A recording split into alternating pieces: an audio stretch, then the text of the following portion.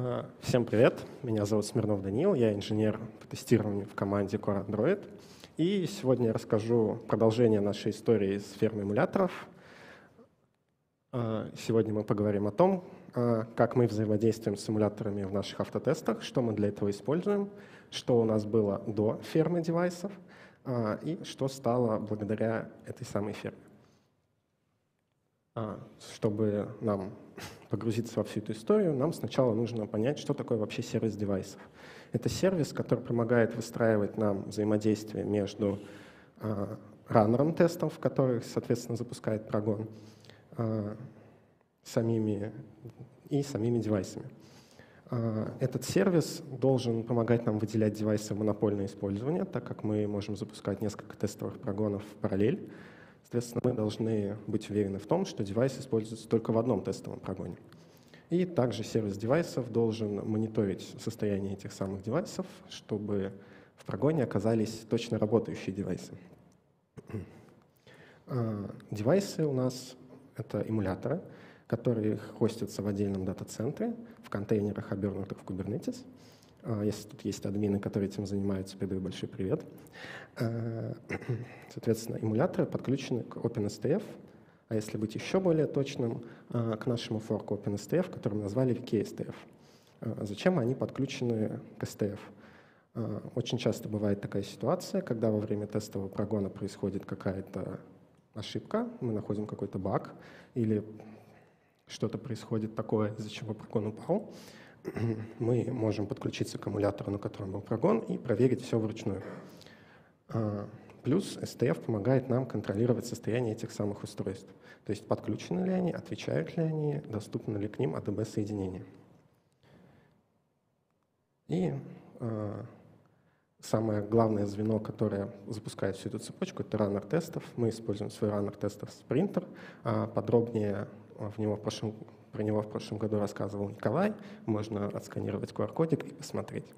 Николаю тоже большой привет. Итак, у нас был свой первый сервис девайсов, а, но он нас не совсем устраивал, потому что у нас был целый ряд проблем. Первое — это необходимо поддерживать каждую отдельную часть вот этой большой инфраструктуры. То есть а, что раннер тестов, что сервис девайсов, что ферма, что эмуляторы представляют собой какую-то отдельную часть, которая где-то хостится, которая кем-то разрабатывается, кем-то разворачивается и кем-то поддерживается.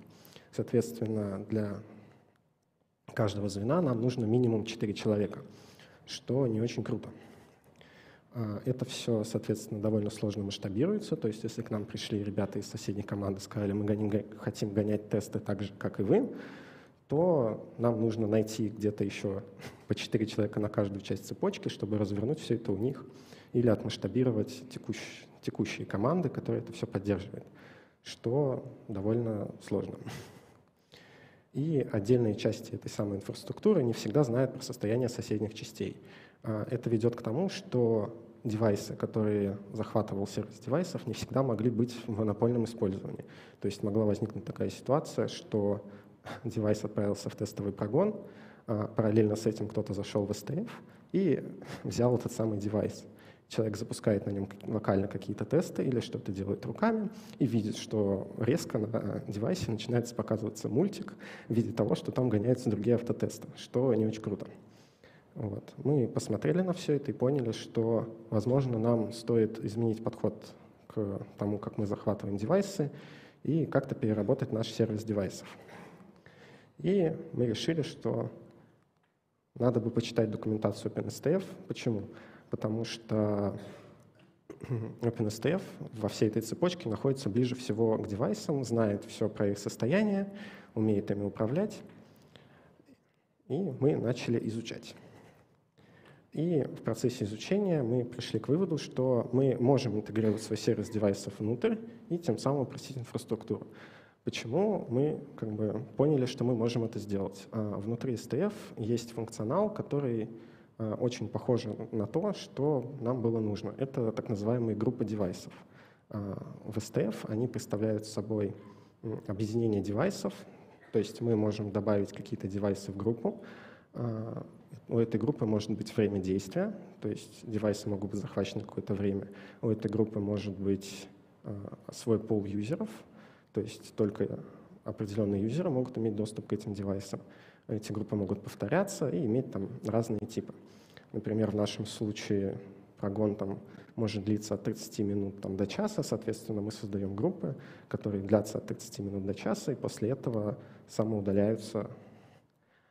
А, итак, мы поняли, что мы можем это доработать, и решили начать это делать.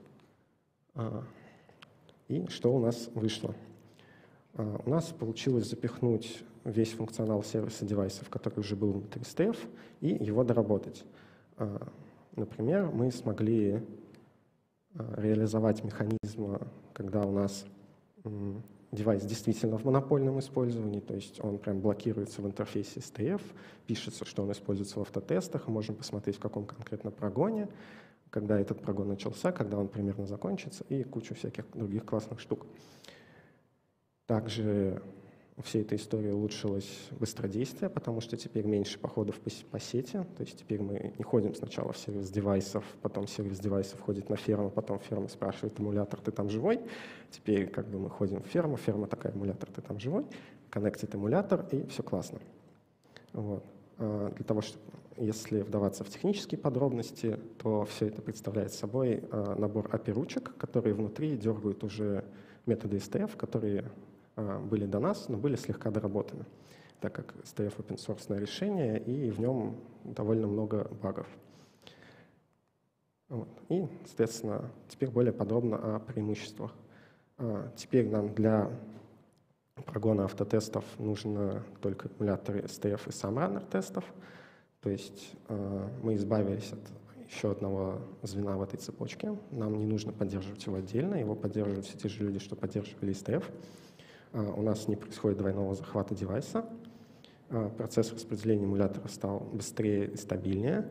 И мы сделали механизмы экстренного освобождения девайса в случае возникновения каких-либо проблем, потому что теперь мы точно знаем, что там с девайсом что-то произошло.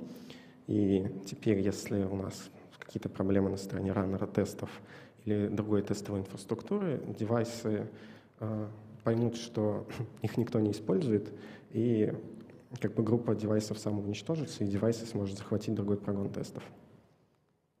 Вот. А в заключение хочется сказать, что мы значительно ускорили время подготовки к прогону, улучшили время взаимодействия с девайсами. Вот. И в будущем мы планируем еще больше ускорить работу, так как уже сейчас есть очевидные места, где мы можем это улучшить. А, сделать механизм горячей замены девайсов. Это нужно для того, что если девайс сломался прямо в прогоне, мы могли бы его заменить. Вот, сделать резервирование. Резервир, резервированием подразумевается, что у нас есть отдельный пул девайсов где-то рядышком, Э, из которого мы тоже можем брать девайсы под замену, в случае, если у нас там произошла какая-то там, серверная авария или еще что-то.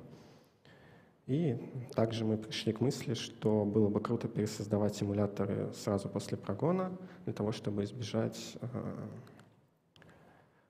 так сказать, нестабильного поведения автотестов. Вот. А на слайдике есть э, повтор QR-кода, который уже был, а также остальные QR-коды с докладами моих коллег про UI-тесты а, и то, как мы еще автоматизируем и упрощаем нашу работу. Спасибо.